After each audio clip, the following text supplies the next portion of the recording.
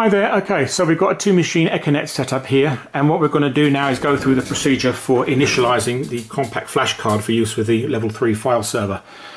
So first off on this machine we've got the coprocessor turned off.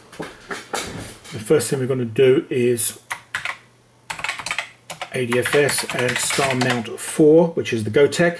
We have this image on here. I'm going to go HDNet. And we're going to run that. So we need to press tab to change it to 8 width, 8 bits width, investigate, and it's a 1 gig card, so 500 meg is half. So we want to format that. No HDFS, yes to confirm. We now do that. We have the drive initialized. So now we're going to turn on the CoPro 230,0 and we have the tube on. We're going to mount 4 again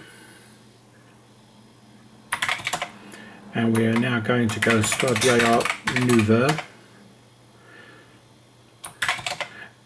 and we're going to use this version of WFS init. There are several versions floating around on the net and there's a few versions on here but this is the one that I found works with one little modification which is line 5030.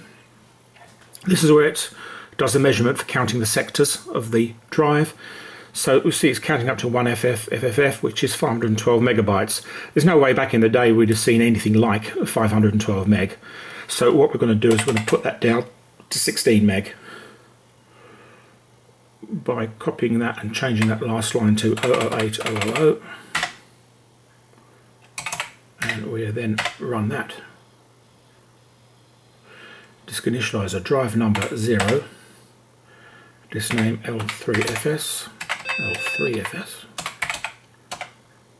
and scanned the drive. Next drive we don't need. So now it's doing its thing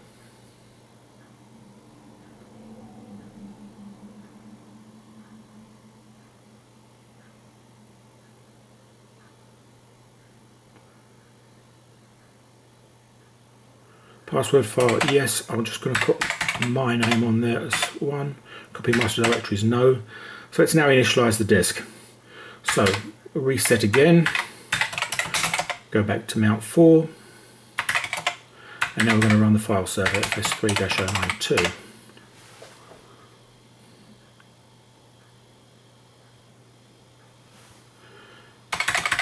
One ninety, one one one number of drives 1, command serve, stations 5.